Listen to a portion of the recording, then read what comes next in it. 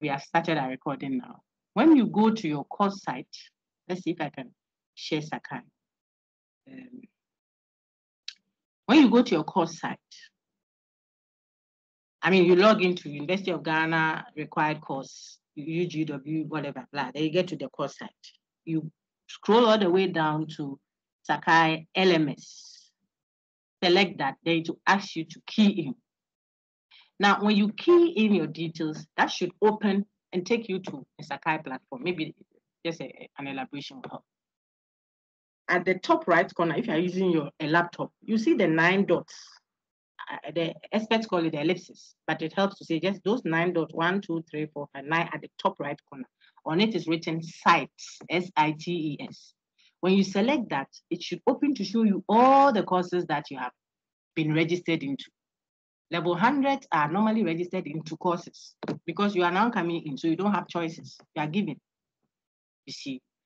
Then you should see all that. Now for UGRC 150, like I've already elaborated, because you of the numbers of students that take it, it is team taught, a team of lecturers teaching, not one person. So the course site is the mother set, the container, the big container within which all students who have registered or have been registered to take that course are put into. For DE this semester, we have over 2,000 of you. Now, that those 2,000 are split into groups. We cut you to chunks, good chunks, managed chunks, so that one group cannot be 1,000, whilst another is eh, 10 or 100 students, okay? In collaboration with your institution, and we put you all into groups. So your course site is UGRC 150, 30. 30 is for distance. That's the, the number for distance stream. Main campus is one. So you would have seen UGRC 151. City campus is four. So you would have seen UGRC 154. I'm explaining this so that you help your colleagues, maybe even in future. Okay. Korle Bu is three. So it would have been UGRC 153. Now, DE is UGRC 150, 30 on Sakai for every course there, you see that they will be in 30s.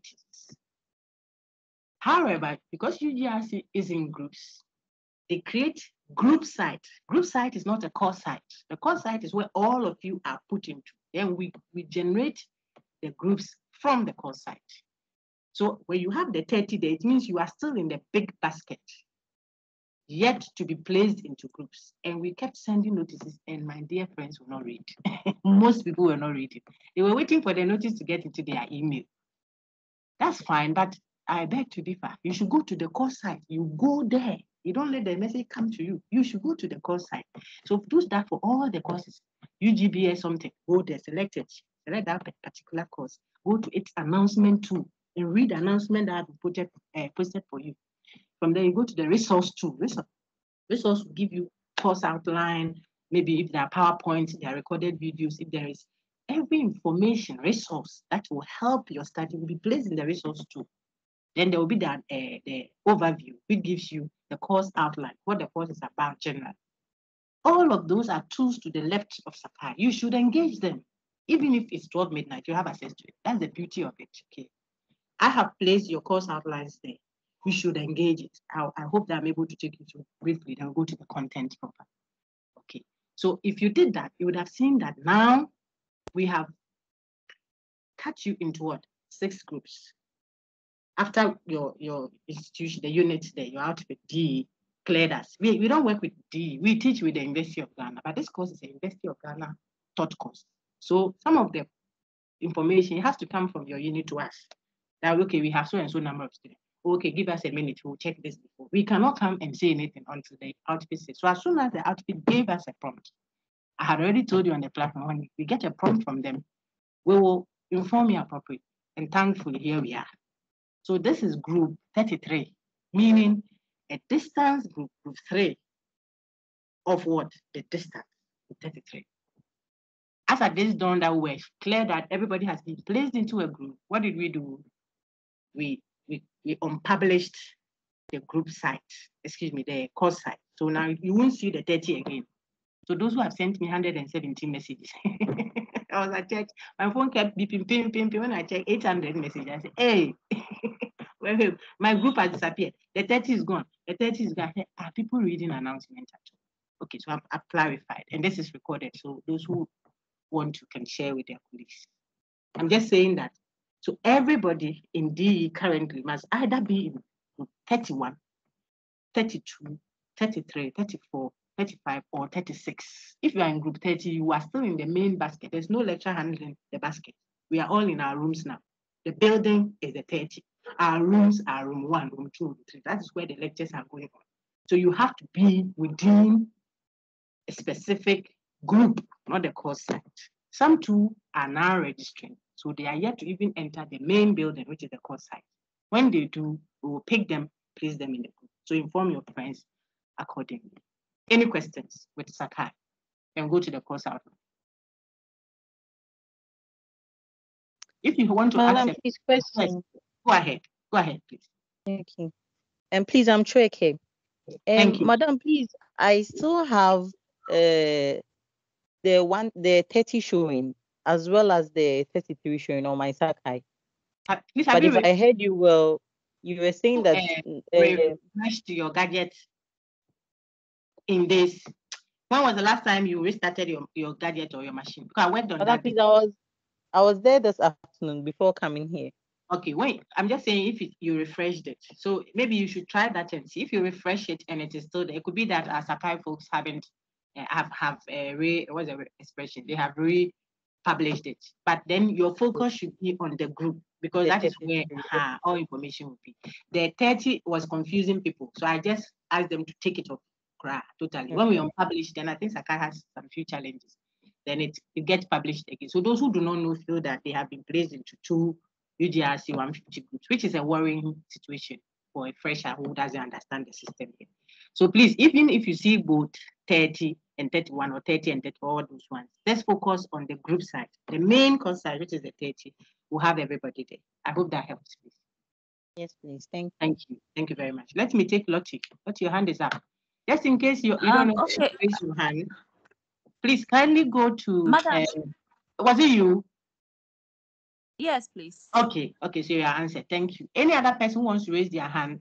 And we don't want Yeah, to. me. uh, Me, yes, please, we don't want Lottie. to.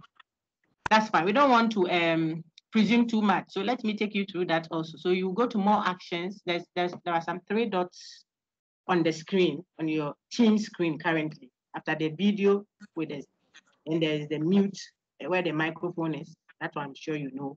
You should have three ellipses something there. You know, when you select that, you should be able to find more actions. I think. Then you can more action. Then you should it should show you the hand. You know, then you can raise your hand if you have to. Thank you. Let's take um Ando. Ando, go ahead, please. Madam, please, is this group 33 and 34? This is just 33. I'll I'll hold a 34 session also. One of our Okay. colleagues will, will not be able to take you, so I had to bear the brunt. So I'm doing I'm doing so. Okay. All right, you. Let's take Ando. Ando, go ahead. You are muted, please. Unmute and let's engage. Yeah. Okay, um, good afternoon, madam. Good afternoon, Um, sir. i- is it that, yeah, is it that um, the group names, as in the grouping, um, are we going to have the same number for all? I'm sorry, I didn't get you very well. Are we going to have the same number for what? All courses, as in the group, I think you are having a, group two. Okay, is it going to be the same for all? Like what we have about six courses. I don't know whether it's going to. Hey, I can't hear my hello to you. Yeah. Hello, please. Is it clear now? Uh-huh. Yes, it's better now.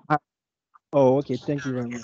I'm saying that is, is your group going to be the same for all the courses? Okay, so for now, I'm speaking to UGRC 150 only. That's the only course I'm speaking about. All your other courses there, you would have to engage uh, the lecturer or the coordinator for that. Oh, okay. I'm speaking about UGRC one. It's just one of the peculiar courses. It's not like a department course. It's a university course. So Yeah, our, but uh-huh. but explanation as in using the houses thing, the room thing. I'm I'm trying to say Uh-huh. that if, yes. I, So I'm trying to if go ahead. Sorry. I- I'm saying that if um you have the 30 and then for some Yes. reason you the group, is it that the group that you've been placed is it going to be the same for? Uh-huh. The groups are only for UGRC 150. I don't know about academic writing, if they are they've created groups on the site on the very course site or they created different groups. You see, we, we can have different groups, but on the same course site, like different beds, but in the same room. That one, it will still remain 30, but for UGRC 150, we created bedroom for a kitchen, you know, and, and then some of the courses are being held here. So one is in this room, the other one is another room, the other one is another. Then the main building is empty. Okay, Just because with me, I'm, I'm I'm having just um group two, as in 32 for one, but not That is what you should have. That's why I was asking Lottie if when when last she checked. You see, our phones and some of our gadgets, even if things have happened, uh, you have to refresh it before it will reflect. That's why I went on. uh, I took off the main site. There's this done. So you should have only the course site. eh, Excuse me, the group site 31, 32, 33 to 36. Just that for now. And it is not a problem. Don't worry. If you even have both okay. Thank the main site and the group site. Ignore the main site. Sakai people take it up so that you don't get confused. They can follow your lectures consistently until we are done. Oh. Yeah. Okay. Thank, Right. Thank, you very much. I think that'll be helpful to a lot of people. Can I take uh, Mr. Pops? Then I'll take uh, Lady Reverend Baba. Mr. Pops, Um, th- yes, thank you very much. Uh, I'd want to find out. I am not in group 33 or 34. My group um, crashed with my face to face on campus. Is it okay if I take any class? You can take any of them. I think I communicated that clearly in the announcement to help you. We won't, okay. you won't lose anything. The clashes will happen because you have only the weekend. You are these students. So there will be Yeah. classes. So the links are for interaction, but you have to engage the content that is uploaded for you, the recorded lecture and the test. Then the interactions, you can you can engage your various whichever interactive session works fine. Okay. And the textbook, does it come at a cost? Yes, it's a the industry's book. It's 50 cedis, five zero. It was 30 cedis previously, but uh, the, the people who publish it doubled the price. So the, the price we got from the school is 50 cedis, five zero. That is that is Okay. we don't have enough actually. So the worry is, but we pray that we are able to get uh, all of you because main campus folks are also picking from that and they just started. Now we are good. All right, thank you, Mr. Paul. The, the, the, the textbooks are the same as the uh, PDF, right? I won't be able to tell. I have not sanctioned the PDF. I have not seen it. Okay. Uh-huh. But the test books are the required text. That one I know. Uh-huh. So maybe you can check when if you think it is worth. it. You, Lady Reverend, take your question. Please unmute it.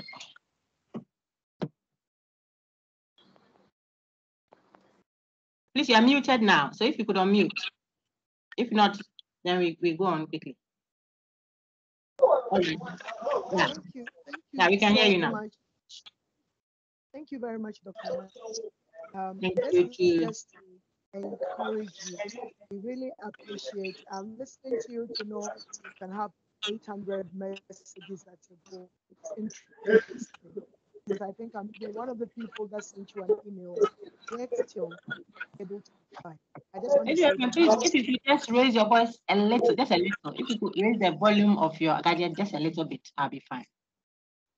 Is it okay now? It's different. Please, is it okay? Okay, I'll manage. Please speak. Yes. Please, is it okay now? Ah, now I can hear you. Yes, please, it is. Yes. So, Dr. Nancy, I'm just saying that thank you very much. I'm Thank listening to you to find out that you have to respond to over 800 messages at a go. Now, And yes, we just want to say from the DE presidents everywhere Thank- that we appreciate the Oh, efforts thank and you are going to comply by the candidates. Thank you. thank you so much, madam. We do our best with you. Yes and all. I like that woman. Hmm. She's very, she's very eloquent. Thank you so much. Thank you. Thank you. Okay, so I think the, with the uh, ground rules cleared, we can quickly now launch into content. For those from in my groups and anyone who wants to, I sent a link also, a YouTube link that will take you to an academic channel that I created when we had to go online. That channel has all recordings on the various units and interactive sessions that I've even had with students of the course. Of course, if I say meet me Monday for this or we'll meet at so and so time, it will not be directed at you because I will be referencing that specific class. But the content itself on unit one, unit two, unit three, you can engage that to help you understand. They are all there, they are accessible there. Yeah, someone manages that for you. So I think when you go to that channel and then you go to playlist, you get UGRC 150. Go to that one because I do philosophy too. So there's philosophy of classics 201, 102, 307, 304, so that I don't get all the Socrates and Plato bothering you. But you can focus on the UGRC 150, the same textbook that the university has used for a while now. So we reference the same content. Ignore the administrative referencing and focus on the content itself. And you should do fine. We will still engage everything as if we, you never saw it anywhere, but just so that you don't feel overwhelmed. I thought I should put that also. All right, now to our topic one. We'll do that alongside the course outline. What is critical thinking? I sent the video, so I know some of you have engaged it. You've heard all the elaborations. You can play it back all the time. We need to be equipped to think critically about matters, regardless of the discipline we are in the university to study or to be trained in. We may be studying economics, business, nursing, what have you, but we have to make critical decisions all the time. That is why the university says you have to pass a course in thinking critically and reasoning practically before you graduate. We don't care even if you are very good, so good in your very chosen field and you don't have the requisite knowledge in this course, you won't be allowed to graduate. It's so unfair, but that is the truth. We have people in the system, unfortunately, that haven't been able to leave because they haven't either passed this one academic right or the UGRCs. You know, so why do we have to necessarily take this course and pass? If you play the lecture, then you will know that I give several examples, few of which I will touch on. We need to be able to communicate the knowledge we acquire to people. We need to be able to think through how to communicate that. We need to be able to make judgments of situations and respond to those situations in a mm. useful manner. The, the situations we talk about should be practical. We're not talking abstractions. So if you look at the nature of the course, a critical thinker is equipped, is trained to learn to do or suspend their judgment about a claim until they have a certain degree of confidence with which they can now accept it or reject. It's a training we give you to be able to hold on with your judgment of a situation, your judgment of a, a degree, your, your judgment of a certain faith, your judgment of a certain culture, a certain group of people. Judgment here meaning your assessment of a situation before you make a decision. So that that decision is not that you just want to slow down, but you want to make sure that the decision you are making is dealing with a practical problem of existence. So when I give reasons why I support a certain claim, then you are able to assess the grounds for that reason that I have given. You assess it you, to see if I am justified in holding that claim. Therefore, you will see that the course thought critical thinking is topic neutral. It is neutral to the topic. We don't care what discipline it is, which discussion we are having. We can use the skills, the tools, the techniques we are going to learn in this course to apply there. It is neutral to the topic. We don't care which topic it is that we are discussing. I'll ask you that, friends. So please study it well. Why would you consider critical thinking or logic as what? A topic neutral to? Well, logic applies in medicine, applies in law, it's in the military. If you play my, my, my video, you should have examples of how you have to make a decision and the medicine you study doesn't help you at that time. You know your stuff as a medical practitioner, but you have to make a decision. You will you tell a lie? to say you disclose your patient's, you know, uh, personal information to his compatriot that he came with. Who doesn't want to tell her the truth? They are a couple. So if you don't tell the truth now, the guy will infect the sister and she will die with the same sickness that the guy has. But if you go and disclose it to without clearance from the guy, you are disclosing, uh, you know, information that is private to the patient. You are not allowed to do that. What do you do? Either way, trouble. You tell a lie to save a life, pastor. Lady Reverend, don't get don't don't, don't get worried at all. We, we we stand at the same place, so don't worry. Will you tell a lie? Uh-huh. Will you tell a lie to save a life? The woman has come to your house. My husband is beating me too much. The people is beating me. He's after me. Oh, you hide. Before you say, oh, but you have to go to the police station, the woman has hidden you. Then the man comes. I'm is it's my wife there. You tell the truth. This guy will be the guy. He's totally drunk. You don't tell a lie. Hey, eh, excuse me, you don't tell the truth. You are lying. God says that shall not lie. Oh, look.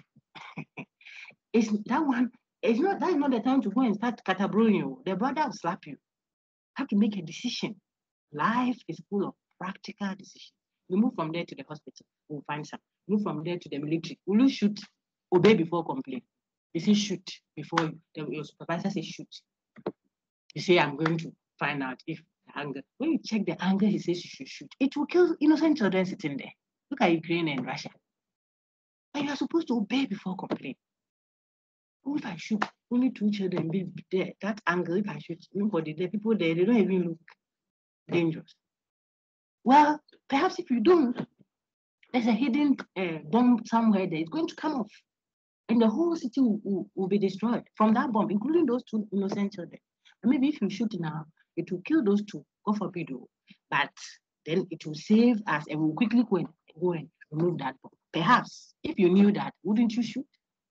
That has nothing to do with the training you have undergone as what? As a, a shooter, a sniper, so to speak. I'm saying all this to show you that we, we are faced with life situations, real practical situations that our theories we are learning in school will not be able to deal with if we don't engage this course, which teaches us how to examine the claims people are making how they are supporting those claims, whether they are committing fallacy. Don't go and bring the woman from that place to this home. Oh. We, we don't we don't marry from there. You say why? That says that those people do they ever take care of their wife? Which people? So oh, all those people there, I'll mention people from X place, they don't take care of their wife. That is a big fallacy that that is committing. Daddy loves you. Daddy has your interest at heart. But he's committing a fallacy. How many of those people has he met? He might be advising. So the advice is good. But the claim that as for those people, it be so then they. Uh, the, the people from here, that's how they are. That kind of language puts everybody supposedly from that place in that box. You don't allow for people to reason about specifics. What if this is an exception? What if we were wrong all this while? We want people to be able to suspend their judgment, examine the premises. There comes the technical word. Take note, I will ask you. Examine the premises people offer in support of what? The conclusions they draw. So I've introduced two technical words in logic. Premises leading to what? A conclusion. The two together form what? An argument. Critical thinkers like yourself and I learn how to examine the premises offered to support the conclusions drawn by people. We examine it to see if the premises give us enough grounds to accept the conclusions drawn. Where they are not enough grounds, we check to see if the person committed fallacy. Fallacy just means what? Wrong use of language, committing error in the way you are reasoning. So now you know three technical words. Premises, fallacy, conclusion. Even a fourth one is what? Argument. When you have premises leading to a conclusion, we say you have what? An argument. Argument is not exchange of words. We are not beating ourselves. Okay. So the, the, tech, the critical thinker is equipped with tools for this work. Which work? The work of what? Diagnosing, trying to investigate to find out that if you gave me these reasons, would it mean that I should accept the conclusion you have drawn? The litmus test for that. How do I test to find out that if it were true that them, she's the last person who left the room yesterday? So I conclude that therefore she stole the laptop. We are looking for a missing laptop. Then the security man said, Boss, madam, please, oh, when you closed the office yesterday, you left. The last person who left the building was uh, your your TA. He left the building, passed the bar. So make you ask him the laptop that you are looking for to be with him.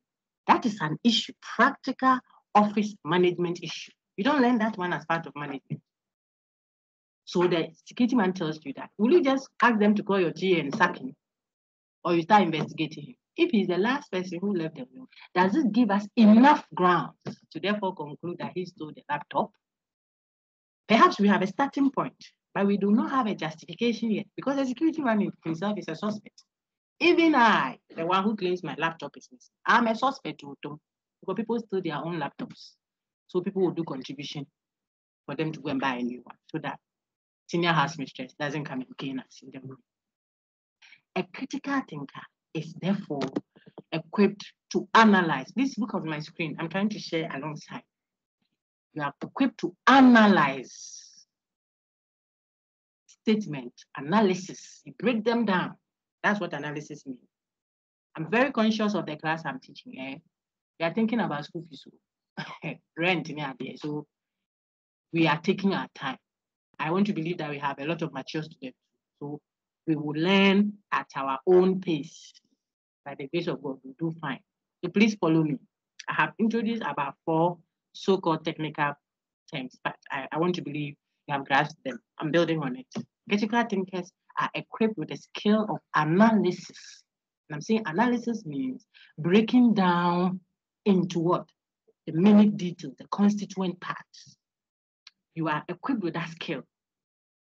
So if I tell you that women are bad, apologies, eh, sisters. we just celebrated International Women's Day. If someone says, as for women, that is how they are.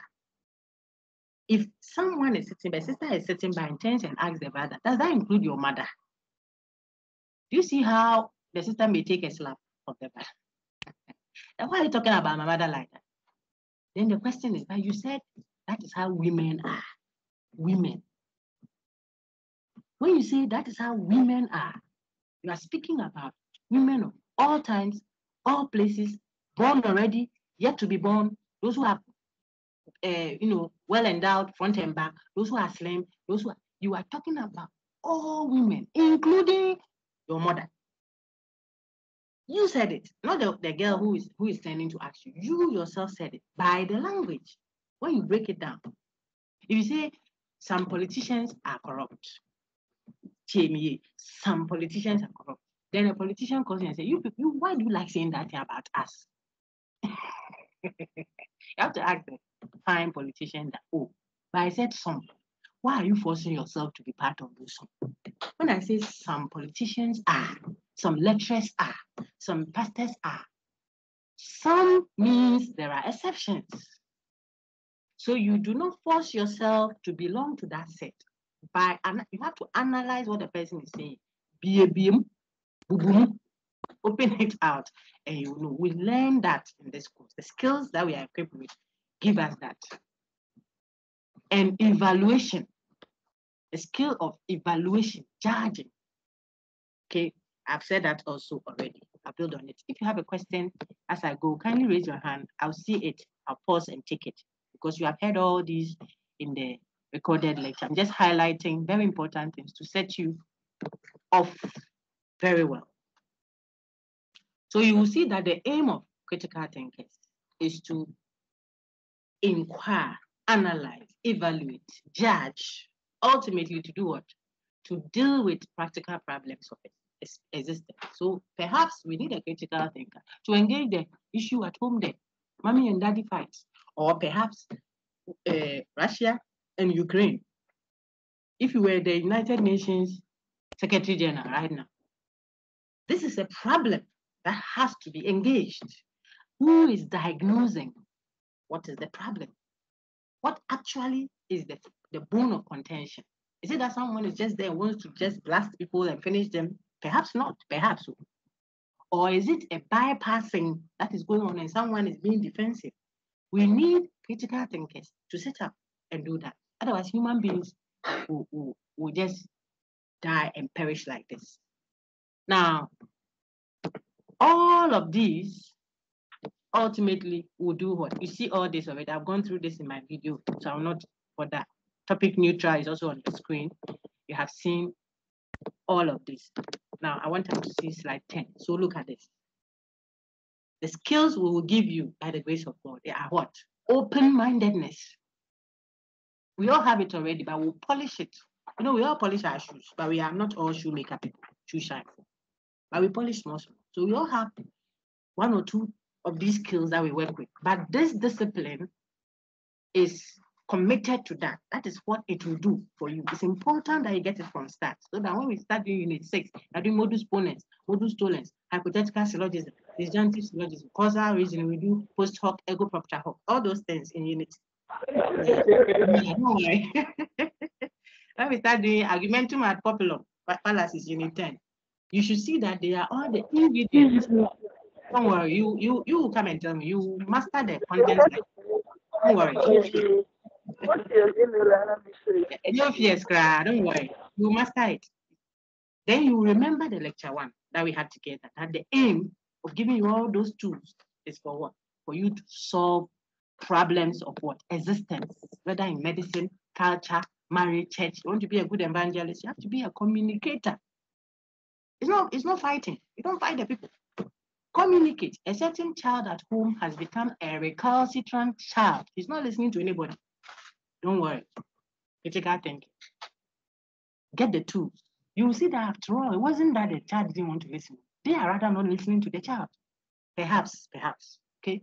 So we will give ourselves those tools and hope that we are able to negotiate some of life's problems as academics, as academics who are learning with that in mind. Okay, so those are the background. So open-mindedness, you should be able to work with everyone regardless of their background, where they are coming from. Perhaps they are even better able to get converted and join, whether religiously or, or culture or political party. I could win someone from one party to the other by the way I carry myself, or by my communication, or by the effectiveness of my argument. You see, not fighting. Okay, you we grow the inquiring mind in you. We we are never satisfied with oh saa na ha. That's how we do it here. Critical thinkers, no. They are very humble, but very firm, very resolute when they are convinced about something. We train our academics to be like that. So when you say you have a University of Ghana degree, the degree must show. Not that you are overconfident, no. But when you step in that place, office, marketplace, you are projecting a policy, you are marked for excellence. When you finish, you make an impact. You don't, you don't go and impress people, no. not impress, impressive speech, empty content after all the enthusiasm. No, you impact people. So if it is uh, you are a marketer, you want to market a product, by the time you finish, the people are happy with the product. If they have genuine concerns, they will show you that, that this one is fine. There's that this side, leave this side, this side. If you could do this and that about it, it means you made an impact. Not, Antinous, please, what is wrong with my heart? You say you have a stereoscopulus, something, something of the highest order. And you are speaking to, like I said in the recorded, a grandpa, uneducated, formally. You see, grandpa be sitting just his heart. He wants to know what is wrong with his heart. You killed him with your stereoscope, whatever. When you can just tell him, it's just a little enlightenment. It's like the heart is a little larger than it should be. So we can we can help you, but we will keep you here for some days, okay? And Auntie and Sister Adwa will always come and see you. We will all be here. We will all be here to take care of you. I'm saying the same thing. I'm communicating truth to Grandpa, but I am not impressing him with my theoretical definitions of uh, trypanosomiasis of the highest order of 1678 uh, clu- what is this? Who cares about that? When you meet your colleagues who are also experts in the field, talk that way. It will be meaningful. So we'll learn unit two. Definitions, making meaning. Perhaps the child is not eating. pediatrician, Perhaps the child is not eating. Not because he doesn't want to eat. The food sits in the bowl like Mountain Afadjato. The banku is sitting in the plate, boom. The soup is sitting by it. The child doesn't want to eat. Maybe you cut it into some nice slices, chunks, some triangle. If it's fancy cake, some sorry, some triangle, some square. It's boring and tiresome. But you take the triangle and say, you pick the square. Let's see the one who finish first. We all dip it into the soup. We swallow.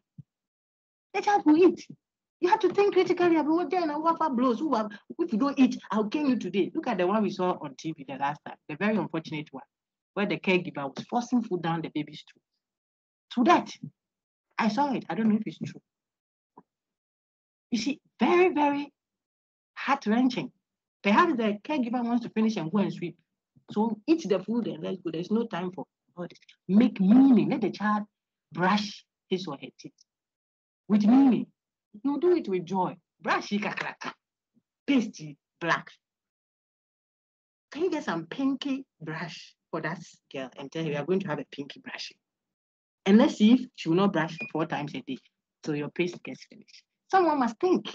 That's all I'm, I'm saying. So from home to those two people who, who have never talked since they came, the man says the wife likes argument. That, the husband says the wife talks too much. The girl says, hey, I argue to bring stuff home.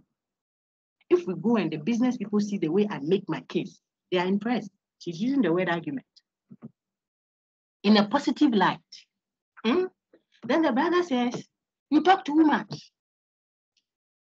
Interpret argument to mean what? Talking too much. So one person says argument means you improve, you are able to convince people so they come and buy the product, maybe business partners. Another person thinks argument means disputing. So the two of them say, oh, argument, you like argument. The other person say, you don't know how to argue. It's called equivocation. We'll see it.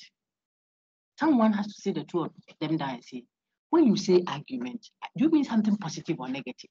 So the psychologist amongst you, when the, pay, the client comes to you, sometimes you don't even have to start engaging your content. You have to critically analyze the problem that is sitting before you. And then you start giving what? Practical problems of existence based on your diagnosis, your judgment, then you proffer solutions. You have to be a critical thinker. And the schools, uh, the, the, the, the, skills and the tools will give you.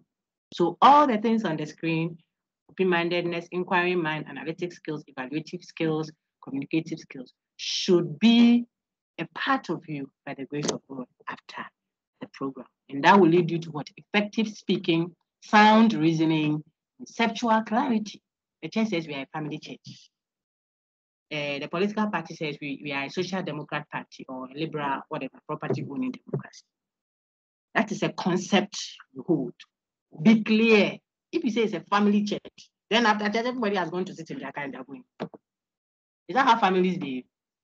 clarify the concept that you claim you are. Are we doing democracy? I've entered into politics. If it is democracy, then what does it mean for us? If you're a policymaker, you take that up. If the mandate is to do X, Y, or Z, the concept has come. Clarify that. You need a critical thinker to ask critical questions. University of Ghana says our motto is what? Integri procedamus the correct pronunciation, I'm told by the Latin post, procidam, the C is integri procidam. We are progressing in what? Integrity. That is the concept. It should be very clear and it should be caught up by anybody that passes through the system. Clarity, we teach that, we enforce that. It's a tool we equip you with. Then you're able to recognize, diagnose, and solve problems for the work environment and also what everyday life. All the rest I have taken you to. Now we can go to unit one, unless there's a question. So when we take unit one, unit two, definitions, unit three, types of discourses, arguments, narrative, what have you. Unit four won't come. It just shows you how to navigate. I've said that over and over again, the courses. So it's not a content you study to be examined on. So don't bother your head over unit four. Then unit five, laws, empirical laws, normative laws, what have you. You go to unit six, deduction and induction. That is technical, that's heavy material, that you can you can negotiate it if you make an effort at it already. So get the textbook, get the slides, study it, and don't overwhelm yourself as you read. Just be confident that I told you that you can weather this one easily. But you have to commit to consistent study. That's why I have stressed get the book or be by your slides or engage the video all the time. But unit six, I want to warn you, is heavy. Unit seven, also heavy. Uh, inductive reasoning in everyday life. Then unit eight won't come. We don't we won't examine you on unit eight because then we have too much to learn. So unit four won't come, unit eight won't come. We still have some causal fallacies in unit nine that will help us fill in the inductive reasoning bit for you. So nine, then unit 10, and you are finished. Unit 10 deals with fallacies, examples of errors in reasoning that is common in our everyday life. I just took you through the course outline without going through the specific details. I know them offhand. Any questions? Then we can go to content one. Please, if you have any questions, raise your hand. I'm glad to respond to it. All right, so on the screen, we have sentences that shape our thought. Sentence shape thought. Whenever we speak, we have an intention in mind that we are trying to bring out.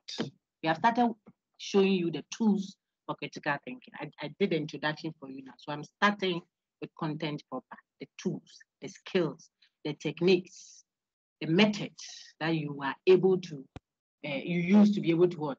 Investigate, examine, evaluate how people are grounding their claims what with evidence. That's what critical thinking is. We equip you with tools to help you examine how people are supporting their faith, their beliefs, their convictions, how they are supporting it. What? With what evidence? That is what the course is about. So I'm introducing you now to the tools. We are starting from one, unit one, all the way to unit 10. And I'm saying that when people speak, they have an intention in mind though, that they are trying to bring out. So if I knocked on your door and I said, what is the time? I'm expecting you to give me what? Information. And I say, what is the time? I want to know what the time is. So I want you to tell me the time is five o'clock. I am asking for information. So that type of sentence shaped thought is called interrogative. You know already. Question asking, asking questions. So it's interrogative. When we take people to the police station, we go interrogate them, go ask them questions. So that is one type of what? Sentence that shape our thought. It shapes what is inside our head. We bring it out through what? The language. One type is what? Interrogative. The same name for interrogative is question. Another type of sentence that shapes our thought is what? Imperative. Just understand. You see, when you understand, you see that you don't have to do too much work because in Chiasian is there, you are just left with picking the words. Imperative. Sometimes when I speak with you, the intention is not to for you to give me information. I want you to do something. That is why I'm speaking to you. Sometimes when I speak to you, I want you to perform an action. So if I say stand up, stand up. I want you to do. So the intention I, the speaker, have in mind is for you, the hearer, to perform an action. See, so that expression which requires of the hearer to act, to perform an action, is called an imperative. Imperative. I've seen all of those in the video already. Imperative. Example of an imperative is stand up. Another name for imperative is command. You see that? Requests.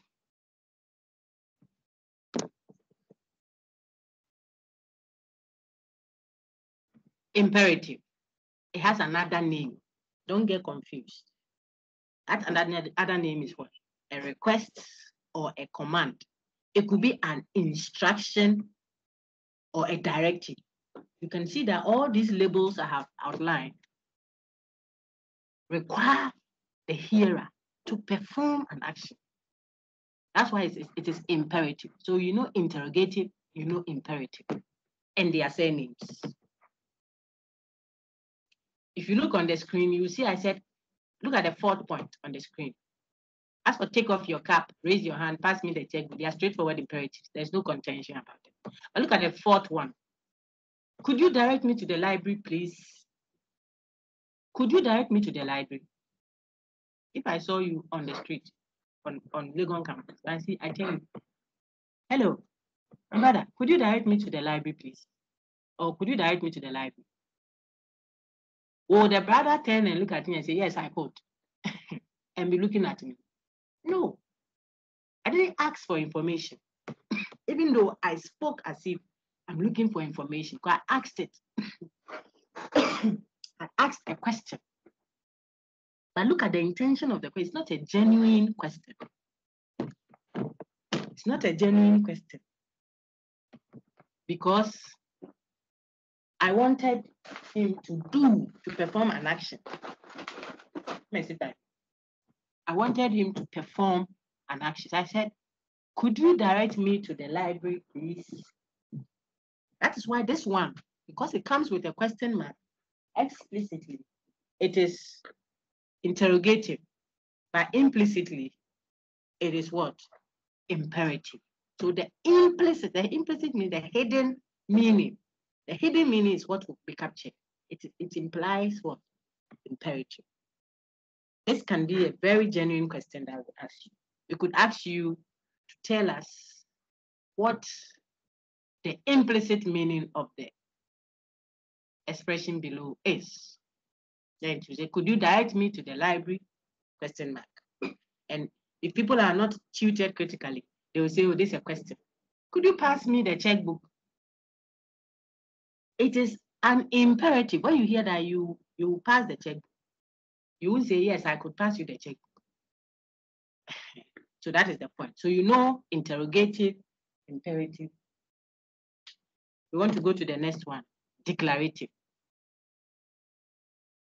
A declarative is a sentence shaped thought. That word gives information. It gives you information. Interrogative, the first one, seeks information from you. Imperative tells you to do. Declarative informs you. That is, it conveys information to you. So if I say, my mother is in the room, it is seven o'clock. Today is Monday. On the screen, you see some examples I put there. Then your textbook gives you so many, so many of them for your practice. Ghana has a new Speaker of Parliament. The bachelor is sitting under the tree.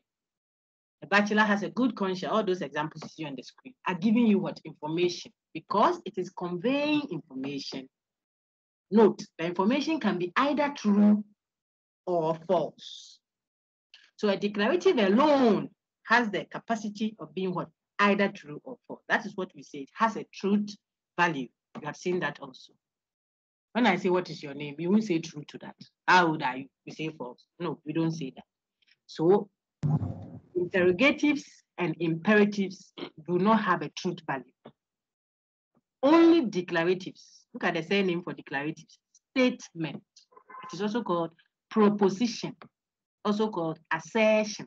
Look at me alone. I'm called Nancy. I'm called Myles. I'm called Bafo. I'm called Gyamfi. I'm called Amma. And the one that is hidden. They're all my names. So if you know declarative and you go into the possible answers and you don't find declarative there, but statement is sitting there, it's the same thing. If you don't see statement and you see proposition, it is the same or assertion. That's what I'm trying to show us all. So you should know the main three types of what? Linguistic expressions or three types of sentences that shape our thoughts. Imperative, interrogative, declarative. We have done the three. So if I say, where is the rice in stew? Please tell me which type of sentence shape. Oh, I saw I missed the two hands. Sorry. When I say where is the rice and stew, I'll take Belinda and Irene shortly. How will you label it? What type of sentence shape thought or speech act would that be? A speech that is capturing our action. Where is the right sense to? Please raise your hand if you have an answer for me. Where is the right sense to? Okay, now do this. Interrogative. Interrogative. Very good, Nah. That's correct. Thank you very Right. much. Thank you. You're welcome. You. If I say, now to the class again, if I say, give me my rice and stew. Wisdom Banza. How would you label that? Give me the rice and stew. Wisdom, you are muted. Wisdom, you are muted. Now, wisdom. Yes. Imperative. Imperative. Very good. How about if I say the rice and stew was delicious? Melinda, Asantua. I'm the papa. The rice and stew was delicious. Melinda, Uh, um, Mana is uh, declarative. very good. Yes. You are all correct. Very good. Now, what about if I just said rice and stew? I say rice and stew, I come and stand there, I say rice and stew. You, ask, what has rice and stew done? You see, I'm not selling rice. If I'm even selling rice and yam and some other dishes, and I come and stand there, I say rice and stew. Even that you ask me, what has it done? Say, I mean, will you buy some or you just came to compliment my rice and stew? The point is, if we just say rice and stew, we don't know where to place it under the three main types of what? Declare, eh, excuse me, three main types of sentences that she. The three main types of speech acts. We don't know where to place rice. So we will say it is an incomplete sentence. Complete sentence. Very good. That's why we call it sentence fragment. Fragments. So it's a fragment of a sentence.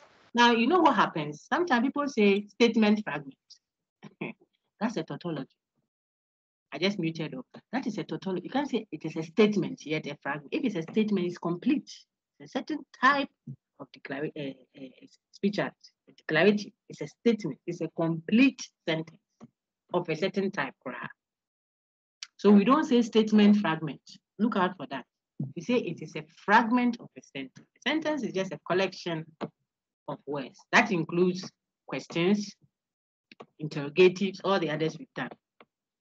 But a statement is a special type of sentences. A statement is with declarative. The special type, which one is that? The one that gives information and therefore has a truth value, can be either true or false. That is statement. So we know interrogative, imperative, declarative, and we know how we can call all of them differently. We have just added sentence five. In my video, I said this also. What about if Barca scores a goal, Barcelona? Messi has left us, so nowadays I'm not too happy. But I've heard that some uh, uh, some brother B has come. He's also doing well. uh, Mickey, what's the name of that? Ansu Fati. I've heard Ansu Fati is doing wonders there. And Messi has gone to some PSG boring team. PSG is a boring team. Nobody should say anything. I am my power and that's mama in casa. Nobody should say so. okay. But, but if Messi scores a goal, and I'm so excited. Madam. Yes, please. Please, I thought uh, apart uh, from the we- have exclamatory too. Yes, I'm going there. Exclamation. Me explain. I'm going there. sentence. Okay, uh-huh, I'll help you on that one. I'm saying that when Messi scores a goal, and I'm so happy, you see, I shall go. Where will you place that? I'm not asking you a question. I'm not giving you information. Emotive. exactly. I'm not giving you information. I am not uh, interrogating you. I'm not asking you to do or requesting of you to do anything. And it is complete. Go, I finished. Not that it's a fragment. I finished expressing myself. I just express what my emotions, I feelings about something. So someone is sleeping on the staircase and the person says, Ajay, that is an emotive expression. Wow. Like you step out of your room and see some you know, brother B or sister B in some red, gold, green color, makeup, red, gold, green, you know, not that Ghana is going to play a match. Shoe red, yellow, tie green, belts, yellow. What does it? Hey, you are finished. Hey. That's emotive expression. If the statue, eh, the statue is for sometimes the gelenu is scary. Some people's gele is very pronounced, ostentatious. Ah, the front opening crowd gate, you can't open to enter. Very good and say, wow, that's emotive expression. That's that. So I'm I'm showing you how we capture our thoughts in language. And with all these examples, you are spot on. So my, my dear sister who interjected, exclamations, when I exclaim with exclamation sign, and one with the dot under, you are likely going near what emotive expression. On that note, I think your recorded lectures make a lot of sense to most of you now. So look at uh, declaratives on the screen. That is emotive expression and sentence fragment. Currently, you have sentence fragments. If only I had known. Had I known. Had I known, what would have happened? If you don't bring me the water, eh? if you don't bring me the water, what? Morning dew. What has it done? It's not complete. The Dean of Students in the University of Ghana is very long, but it's incomplete. It's a fragment. All these are fragments. There, there are nice examples in your text. You see the Flight Lieutenant J.J. Rawlings and the beautiful First Lady of Ghana. What have they done? That is longer than Let There Be Light.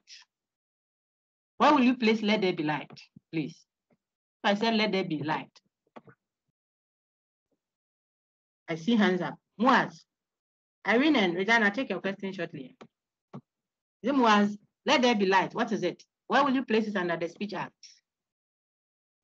Interrogative. Let there be light. What did you say? Emotive expression. Let there be light. Interrogative. Interrogative. Interrogated. Madam, declarative. Eh, Declarative. eh. You see the way of It's an emotive sentence. Yes, Declarative. Declarative, madam. Imperative. Imperative, madam. It's imperative. Imperative, madam, because it is correct. We command. Imperative. It's imperative. Yes, it's imperative. Eh, hmm. Similarly. no, some people, sometimes people, people finish uh, it's got thinking as they say, oh, I could hear, I could hear. Everything was okay. yes. It does is I like to send my answers along with questions if we do objectives. Let there be light. I'm telling you that who own the light. Imperative. That's what God told the situation. Madam, it's imperative. He commanded, thank you very much. Let me speak now so that your recording will be good. Okay, he commanded the situation, instructed the situation. Listen. Hmm. So when you hear let there be light, it means switch on the light, let the light come. So can you know? You know, sometimes I tell my students all that I'm sure you would have heard it in the video. Sometimes we don't speak to the situation, we don't command the situation. Children of God, we don't do that. We complain about it. Hey, so this course I'm going to do, hey, this course, how will I manage it with the children? Four children. And then I say, do man so hey, I got- I got- hey, how are we going to manage? Questions, emotions, no statements, no commands. Command the situation. Speak to the situation. Eh, critical thinking, enter my head. Enter. Then you are doing your part. Hmm? Then the thing will work because it will hear. And and I mean, if you say stand up, even we, you and I, human beings who have our will, we are able to even listen to commands. When they say stand up, we stand. Sit down, you sit. Then inanimate things, things that don't have will, they are not agents. They will listen. But we don't command the thing. Let there be is a command, an imperative. I'm glad I asked. So go if you go through the, the several examples in your textbook, you get so many. Then those that you feel are confusing, uh, tutor, uh, Mr. Peter J, will also engage you. We will be coming concurrently so that you have different perspectives on it. You ask your questions clearly. Don't come and let the person do all the job for you. You have done it and you find a problem and not a simple. Then you want someone to help you untie the knot. That is how you learn. Not that you are not learning, you are not reading, you are not, you don't even know where the course is. there is no. Don't know when you say critical thinking, you are- thinking academic writing. And you have mixed everything up. And you say, Charlie, so "Hey, if I don't want to help you, Charlie. No, no. You do your bit. When you encounter a challenge, then you, you engage them and they are there to help you. We are all there to help you. Okay, so that was an example to help them.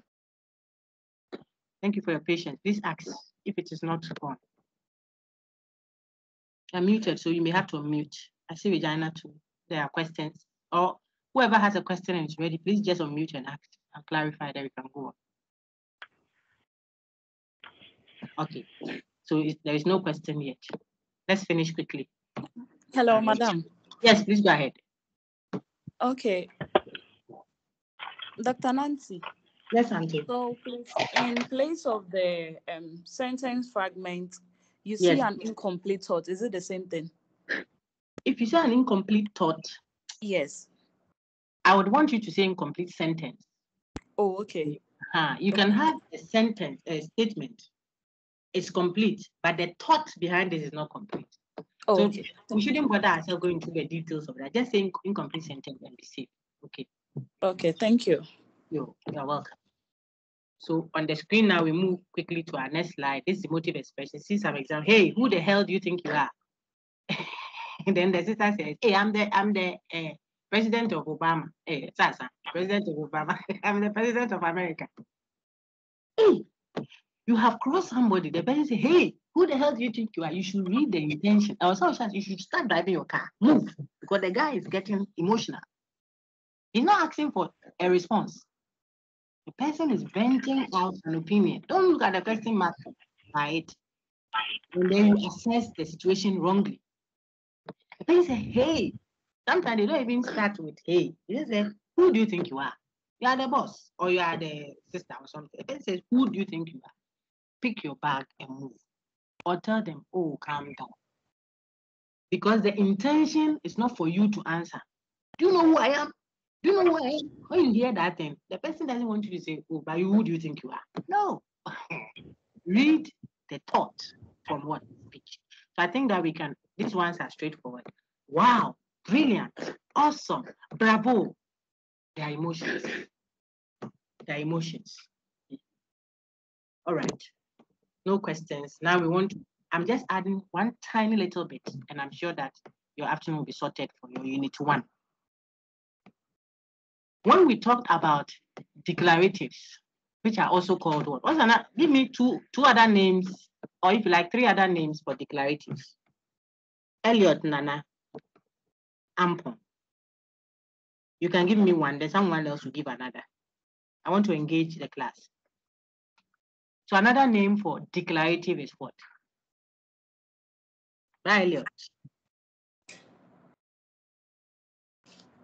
Statements. Thank you. Statement. That was Regina, right? Let me take Yes. Jessica. Jessica, what's another name for declarative, which is also called, Regina says is also called statement. It can still have two other names, at least from our slides. Preposition. Assertion. Very good. Then the last one, all of us, proposition. Very good. Proposition. So we don't care which of them we use. We are referring to the same thing. Going forward, I'll be talking statement, statement, statement. I'm referring to that specific type of sentence, which is what? Which has a truth value, the one we call declarative earlier. That's what I mean when I say statement. That is, it informs you, so it can be either true or false statement. Now, if we were in class, I would have used volunteers. I do that all the time. I think it helps our understanding then whether this one can do. I would have asked one sister to stand up and another to stand up. Then you ask the two sisters standing. Person A is taller than person B. True or false? And depending on the situation, you see the whole class will have a chorus answer, maybe true, or we all say false. I mean, the answer will be objectively so because taller than someone, if two people are standing and one is taller than the other, it is not a matter of who asked for me, even though this one is six feet and this one is three feet, I still think the three feet person is taller than the six feet person. We all laugh at you and say you don't understand taller than. We just have to give you the meaning of taller than, and you'll be fine. So taller than is not a subjective matter. It's not something based on my point of view or your point of view. No, if I'm comparing two objects, taller than is not dependent on how I'm feeling this morning because I'm pregnant. I am not, please. I finished giving birth already. but I'm saying that bitter, if I say the yogurt is bitter, it can depend on whether I have malaria, for example, or I, I just ate orange or something. But taller than is pure, even if my, my, excuse me, I have poor eyesight. Taller than is not a matter of me, I think this person is taller than, oh, this girl, she left me yesterday. She damned me. She was my girlfriend. She has damned me. So now she has become shorter than. No, no, no. It's not an, a, a subjective matter. However, friends, if I said a, pe a person A is more beautiful than person B, then that is a contentious matter. It will depend on what I con uh, consider to be what beautiful. So the one speaking will be prescribing what he or she thinks beauty is. The person is not describing what is there. Take note of the word. If I said she is beautiful, Adwa is more beautiful than Mansa. I, the speaker, I am prescribing, prescription. Before you even look, before you write at all, prescription. Before you write, script is to write, eh? Prescription. Before you write anything at all, you already have your version of what beauty is. That's what you are doing. So when I look at the two people, I say Adwa is more beautiful than Mansa. It is I, the speaker, that I am imposing my conception of beauty onto the two of them. Beauty is not in the object, it is in the one observing. Taller than is in the object, not me. Whether I see it or I don't see it, taller than is taller than. But as for beauty, I may consider short hair to be beautiful. Another person may consider long hair. Even my own self, I may decide that now what is beautiful is short hair. The next two years, I want long hair. The next, I want Sakora with big earrings. Because beauty lies in the eyes of the beholder. It's a subjective term. Corrupt, polite, evil, good. And I've said, I think I said that also in the video. If I wear earrings and I think it is good, it is good because I think so. Good, the word good. The Adventist may not believe in that. You see, may not think it is good. They think, no, no, no, it's not good. So it's bad to wear earrings. The point I'm, I'm making is the same brother that is here is a good, he's a really good guy. When I asked the lady that let him, he doesn't think he's a good guy at all. So good, bad, wrong, corrupt, polite, beautiful, terms like that, value oriented terms that place quality on things. Okay. Uh, when you introduce them into an expression, the expression becomes what? A value judgment. So yes, it is a statement, but the first one I gave you, Ama is taller than Adwa, It's an objectively true or objectively false statement. By sensory observation, we are able together, with the users of the language, we are able together to assess the truth or falsity, regardless of our cultural background, our opinions, the way we perceive things. They, they don't come in. You may hate the person, but taller than party. it is not how you feel about the person, it is about the object. That type of statement, now we are dealing with types of statements. Look on the screen, types of declarative. That's what we are dealing with. They all have a truth value. But factual statements have what? Objective truth. It means the truth or falsity doesn't de depend on the speaker, his background, his values, his op opinions. No, no, no, no. It is in the object. It is raining right now at Nungua. That's a purely factual statement. It can be factually true or factually false. How do we determine that? If we want to exam, establish whether it is true or false, we observe. What I see, the other person will see, the other person will see, because it is not about what I feel or my opinion or my value. I've said that over and over again. So factual statements are one type of statement. And the one that is connected to the speaker's values, culture, maybe religious persuasion, what have you. In other words, I am prescribing what I think should be. That one is the one we call value judgment. Okay. So Kofi is uh, more handsome than this. This government is more so so and so. Uh, the, the example is, is more corrupt than the previous. If I say that depends on where you stand. You won't have a chorus answer true or a chorus answer false. You hear true, false, false. Some will even meet you and so on because they are using a value term. If I say Nana Addo is uh, the president of Ghana, Nana Addo is shorter than the ex-president of Ghana, uh, John Mahama. Whether you're NPP or NDC, Achim or Dagomba, whatever. It is true, factually, that Nana Addo Dankwa Akufo-Addo, our current president, it may be another Nana Addo Dankwa, so you have to qualify. That's I'm. But Nana Addo Dankwa Akufo-Addo, the current president of Ghana, is shorter than uh, John Dramani Mahama, the previous president of Ghana. That is true, to factually speaking. I had said uh, John Dramani Mahama, the president, the ex-president of Ghana, is more corrupt than Nana Addo the current president of Ghana, you think that we will have a chorus answer. So if you are a panelist, you are an investigator, you are a researcher, and you are gathering data to be analyzed later, you get to level four and you do data analysis.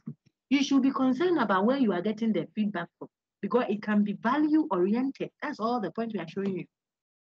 Then you don't go and say, oh, people say, oh, they will vote for uh, Hillary Clinton, and you start calling her Madam President, Madam President, until the votes come in. And lo and behold, in a comfortable lead, who did the analysis? I'm trying to show you. So you have to distinguish factual statement, factually true or factually false, from what? Value judgment. They are all giving you information, truth. But some have tainted truth. It depends on who is speaking because of the terms they are using. Then others you can objectively analyze. Then the third type of statement, apart from factual statement, value judgment, the third one is what? Definitions. Definitions are the, the type of statement that give you what? The meaning of an unknown word. You don't know something, then I make it meaningful to you. Look, E-levy, E-levy, E-levy. You see what our minister and, and the folks are now doing is what giving meaning. They are defining. That's what is going on now from one place. I think it was Cape Coast then to uh, to its meaning, definition. All the learning we are learning in school. When we finish, we have to make it meaningful to people. I said some of a few of those in my introduction. Making meaning to people. Otherwise, people will reject good things. They will crucify the Savior. I'm telling you, because it's not meaningful to them. So it is important. It's not just, I don't want you to just come and learn definiendum, definiens, ostensive, operational, this, true and poor, pass and forget. No, no, no, no. This one, you, you pass it straightforward by the grace of God, I believe. But you, the course must impact you. Then you carry it along and use it for the purpose for which it has been made a requirement. Otherwise, we are all wasting our time. Okay, so it's not for, you're not studying or engaging to pass exam, and go. No, we want people to go, and if they are policymakers, when we sleep, we sleep peacefully. We will not be sold out. Before they append their signature to anything, they will ask critical questions, they will review, they will contribute, they will solve problems, not just join the fray, okay, friends. So I'm back, I'm rolling back. Definitions are the third type. The part that you don't know, when you have a definition, the word that I don't know, the technical term, there it comes, is a big bomb. Get ready. Definiendum. Definiendum. So if I say pollination is a transfer of pollen grains from the anther to the stigma. That, that one will work for the science student. Okay. Then I would have given you a definition. Pollination, look at example two on the screen. Pollination is the transfer of pollen grains from the anther to the stigma. I've given you a definition. You will see that I'm trying to give you the meaning of a certain word. So you don't know pollination. And I said to understand pollination, look at what? What happens when pollen grains are transferred from the anther of a stigma, eh, from of a flower to its stigma. This, this is a, a technical definition. I think it's what physics, eh? Or botany, whatever it is. So you don't know pollination.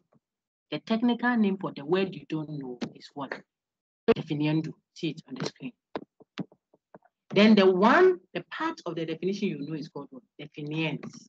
And they are right now. Let that one enter your head so that I don't have to go and revise again. Definition has two parts: definiendum and definiens. The part you don't know, a bachelor on the screen now. A bachelor is an unmarried adult. So a bachelor is what? Definiendum. Unmarried adult male is what? Definiens. The two come together to form definition. And so factual statement, value judgment, and definition. Those are the three types of what? Declaratives or the three types of statement. I'm so done. When we did value judgment in the, in the video recording, you see that I typed on moral and non-moral. So some of the times you, you judge, I say it's a corrupt uh, lecture, it's a, she's a corrupt lecture. That is what? A value judgment. And it has moral implication. Being a corrupt lecturer is a moral issue. See, so it's a value judgment. And it even goes further into what morality, moral value judgment. Like I say, that is a good car. Hey, you bought a good car. This is a good car, this car. I'm using good, so it's a value judgment. But I'm not, I mean, being a good car is not a moral issue like life and death. So this one is a non-moral value judgment, but it's still a value judgment because of the introduction of good. All right. Someone read what we have on the screen quickly. We'll use the last five minutes so that people can rest. I need a very good reader to read types of declarations. Um, yeah, very Types. Is it Regina? Types. Yes, before- it's me. Let's take, Alright. let's see if we have alternative hands. Is someone interested in reading? Otherwise, we let Regina. Yes. Yes, madam. Okay, so I see Judith and Regina. Let- Let Regina read the current slide. And Judith, Alright, sure. read the next slide. Okay, thank Okay, you. the others can read. Thank you so much. Read, my dear. So types of declaratives. One, factual statements. There are three different types of declarative sentences. Factual statement, value judgment, and definitions. So we're taking the factual statement. Factual statement informs by objectively describing what is their true sense observation. Example, one, the bachelor sitting under the tree is sleeping. Two, the president is taller than his opponent. Three, the car knocked down the boy. Four, Amma is a girl. Five, water boils at 800 degrees Celsius. So note before. A statement may be factually true or factually false. Being factual does not mean it is true. It means the truth or falsity of the statement does not depend on the subject's viewpoint, but on the object itself. Thank you very Water much. boils. Definitely done. Thank you so much. Now, my dear Judith, please read the next slide, and I can now contrast how reporters, if there are people who want to be journalists amongst you or, or are actors or whatever, you see something happen, report the fact. Let people introduce their values. Don't come and give us your opinion about what happened, unless the, the show or the event is opinionated. You see that? So if I'm a reporter, I'm a journalist, or I'm passing by, something happened, I want to tell uh, the, the authorities that you say, oh, a car knocked down a a- someone who looks like a schoolboy. Don't even say a schoolboy because you might not even be in school. There's too much opinion. So you don't allow people to have the fact. I get worried about it a little. The boss sacked that lazy secretary of his. You, you are not privy to anything that has gone on. No, could have labeled lazy. Today I've defended the system. So next week I'll be on you and I'll be on the other side. The boss sacked the innocent, you see, the innocent driver uh, uh, knocked, you know, the, the wicked driver knocked down the innocent schoolboy. This is not a factual statement. Now you understand why. And the person is reporting how they beat that innocent grandma to death. I don't want to determine who is innocent or who is not. Say that an elderly woman of the age X has been beaten up to death by brothers aging, you know, ranging between, de- describe what you are seeing. Don't put your opinions inside. Don't say they killed that wick- wicked grandma who has been eating up people there, chewing them. That is also wrong. But don't also say they killed an innocent grandma. Do you know innocent? All right. Right, Auntie uh, Judith, please read the last part. We're almost done. eh, Hold on a little for us. Go on, Auntie. Please, um, she just read what's on our screen. That's factual statement. Okay. All right, so value judgment. Value judgment informs by subjectively prescribing or evaluating how something or someone should or ought to be. They do not state facts about the object, but rather express the viewpoint of the subject. Example one, that bachelor has a good conscience. Two, this knife has a good edge. Three, it is wrong to talk back at your supervisor. Four, Amma is a beautiful girl. Five, the wicked driver knocked down the innocent boy. Six, the president is more corrupt than his opponent. Seven, he is a good boxer. I'm done, please. Yes, indeed. One of your colleagues called, so I had to uh, multitask. Apologies. Yes, thank you Okay. very much. So now, You're- see, this is why I don't like the course. So if you can avoid it, it will help. But sometimes it's urgent. Not to worry. Please see, the uh, point three that Lady Judith read, it could have been this. It is uh, you uh, you talk back at your supervisor. If I said you talk back at your supervisor, that would be factual. I'm stating a fact. That when your supervisor said you shouldn't have done, you also said "Ah, you shouldn't. So you you talked back when she talked. When he talked, then you also talked. I'm just describing what it is. A factual matter. But if I say it is not good to talk back at your supervisor, I have gone beyond just telling you uh, uh, uh, what I saw. I'm making a judgment of it, which is which is what I'm prompting. Okay, so sometimes we are informing people, but in, the information is tainted, either positively or negatively, with what? Our opinion, our viewpoint. And as critical minds, you should distinguish what? Factual statement from what? The value one. Amma is a girl.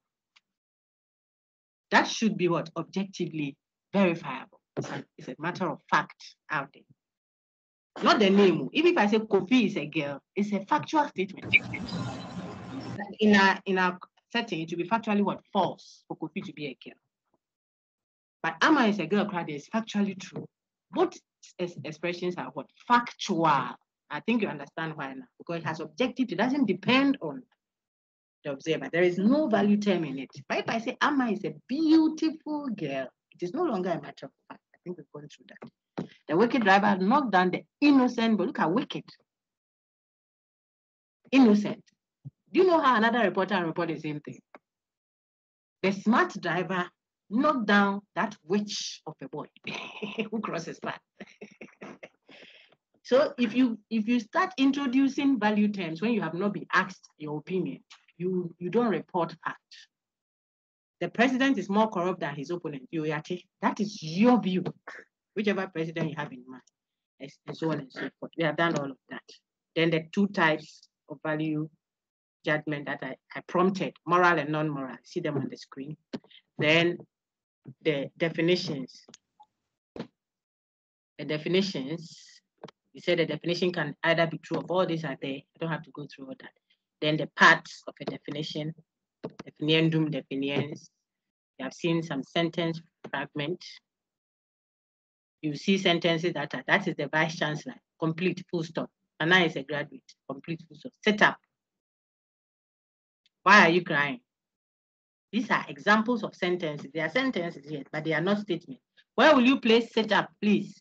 I want a, a hand to answer that. Lady Reverend, was there a question, please, or you are responding?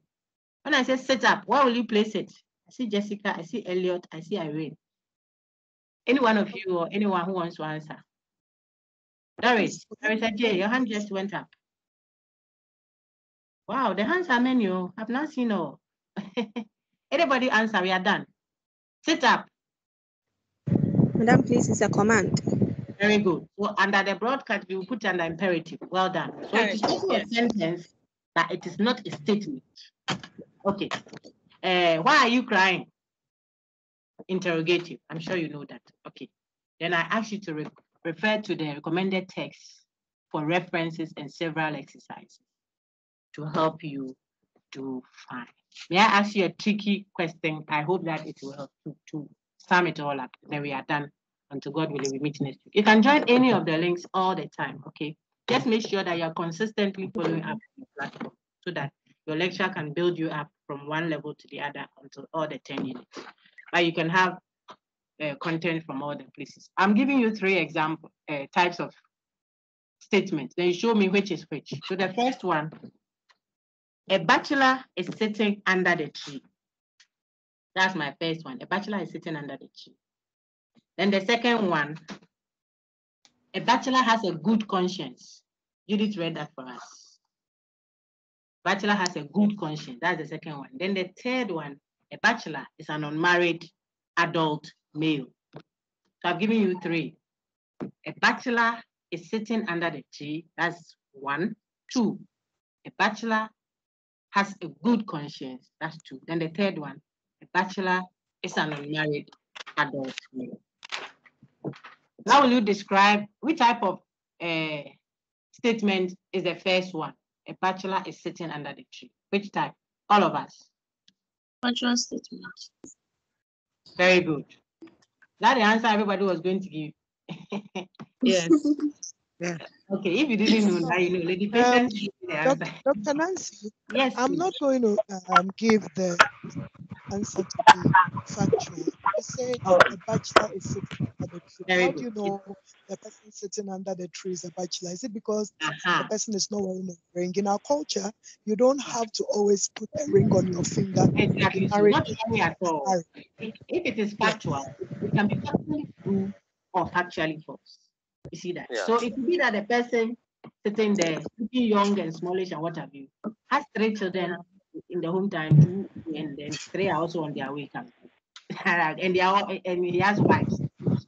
I agree with you. But even so, the statement will still be a factual statement. The factual just means it doesn't depend on us. We can test it objectively. So it can be factually true Or false. or factually false. I hope that helps. Yes. Uh-huh. So we say it's Yes, madam. factual, uh, when we say it's factual, it doesn't mean we are saying it is actually true. We ask you questions like that. The statement is factual, then it's it's it is true. True. Factual means we can objectively ascertain truth or falsity. So it can be factually true. If I say it is raining right now at Legon campus, that is a factual statement. But it is factually false because I'm here now. It's not raining. But the next minute it could be factually objective. Then the second one, I said a bachelor has a good conscience. Please, is it factual value or definition? All of us. Value. Value Value, judgment. value, value. Very good. Very. Then the third one, very good. Then the third one, I said um, a bachelor is a married adult male. Definition. Definition. Definition. What is the definiendum of our definition amongst the three? What's the definiendum? The Bachelor. bachelor. Very the bachelor. That is the definition. You see what I do? You see how you answer? These are all Pasco. They are all Pasco. You see what I mean? So you will do fine. You will do very fine. We are so done. And we captured, I think from pages one to maybe, if I'm not mistaken, uh, 22 or 23 of your textbook. The rest is more part. And then God willing, pray God Hello, hello, good afternoon, madam. Yes, sir. Hello, good afternoon, madam. Good afternoon. I'm done. So, is it is it here, Peter? Please, Peter. Yes, Ah, madam. Any Dr. Masalu too? Uh, madam. Please, that is our, Please, our, I'm- uh, our tutor, Mr. Ajay. So if you have all concerns. You can route it through him. It will get to us. Then we can assist you. I want to log out so that he can engage you. I'm sure he he has one or two. The last five minutes. Then Dr. Nancy, before you Yes, log please. out, yes, before you log out, I'm kindly requesting this on behalf of the entire team. yes. Can I Last question, please. I'll take the prayer question. Don't worry. on? We want to pray- We want to pray for Dr. Nancy and for all of us. Is a request? Is that okay? Before our children. Uh, Father, in Jesus' name, we are grateful unto you for our first uh, meeting online. Thank you, lecturer, Dr. Nancy. We pray for grace, pray for strength. Teach us clarity of speech. We pray committing all of us as key education. Let the wisdom of understanding fall upon us. able and, and clarity be able to write pipe tests and exams. Keep us, protect us for this week until we meet again. In Jesus, amen. Amen. Um, Amen. hello, Amen. Dr. Nancy. Amen. Um, I also have a question I want to ask first, please. Yes, please go ahead.